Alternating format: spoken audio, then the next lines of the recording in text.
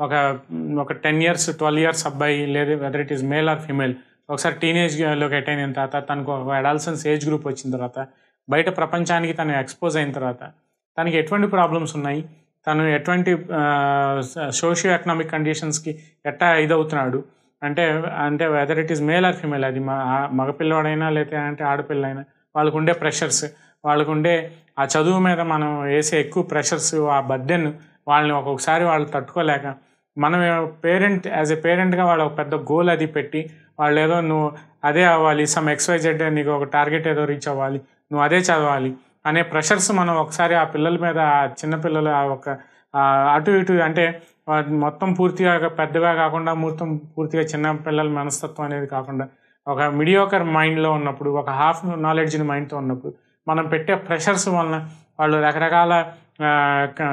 Hasty decisions తీసుకోవటం వాళ్ళ mind set అనేది చేంజ్ అయిపోవటం.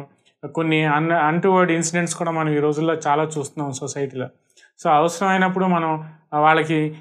వాళ్ళకి కావాల్సింది ఒక వాళ్ళ ఇన్సెక్యూరిటీకి ఏదైతే గురయ్యారో ఆ ఇన్సెక్యూరిటీ నుంచి మనం వాళ్ళని తీసుకొచ్చి యాజ్ ఎ పేరెంట్గా యాజ్ ఎ ఫ్రెండ్గా యాజ్ ఎ వెల్విషర్గా మనం వాళ్ళ దగ్గర తీసుకుని వాళ్ళని మనం కూర్చోబెట్టి వాళ్ళకి అవసరమైనప్పుడు అవసరమైనట్టుగా కౌన్సిలింగ్ ఇచ్చి వాళ్ళు ఏదైతే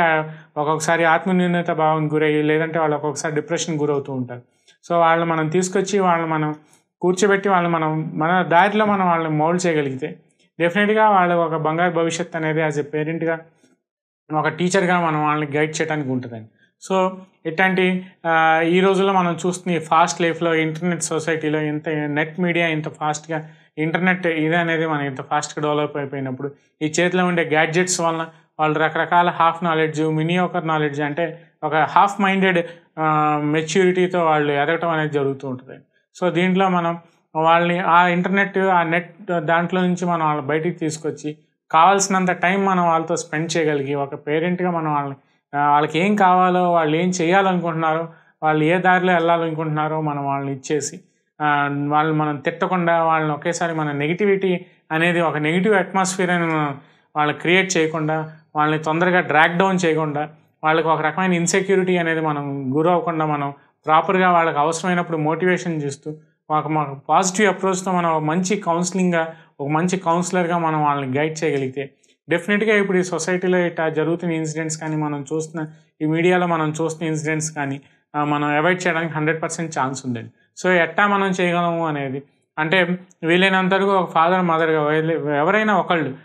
స్ట్రిక్ట్ ఒకళ్ళు స్ట్రిక్ట్గా ఉన్నా ఒకళ్ళు అవసరమైనప్పుడు వాళ్ళు మన దగ్గర తీసుకుని వాళ్ళ పర్సనల్ ప్రాబ్లమ్స్ ఏమున్నాయి? అక్కడ వాళ్ళకి ఏం జరుగుతుంది? లోపల ఏముంది? వాళ్ళ ఇంటర్నల్ ఫీలింగ్ ఏముంది అనేది మనం వాళ్ళని ఒకసారి గ్రాప్ చేయగలిగినప్పుడు డెఫినెట్గా వాళ్ళకి ఒక మంచి